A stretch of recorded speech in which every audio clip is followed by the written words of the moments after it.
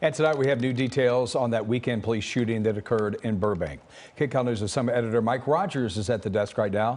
What's the latest? Yeah, Jeff. So two things have happened today. First of all, the uh, Burbank Police Department put out some additional information about the shooting. Now, I want to go back to that video and show you this happened in the Home Depot parking lot. Now, I had a chance to talk to uh, the Burbank Police Sergeant back and forth tonight over email to get some additional information because they say after all this was said and done, that suspect did not have a gun. You'll remember we reported and told you over the weekend that this person called 911 saying he had a gun, according to police, and said that he was going to start shooting people in this Home Depot parking lot. Well, Police are now telling us that when they arrived at the Home Depot parking lot, they made contact with him, they tried to talk to him, and they say he got out of his car and took a shooting stance. Now, they say that's when police opened fire and shot him. He would later die at the hospital. Now, uh, here's what we've learned. He is a 47 year old Ruben Ramos of Los Angeles. As we come back out here to the desk, police say that object in his hand when he took that alleged shooting stance was actually a knife and not a gun.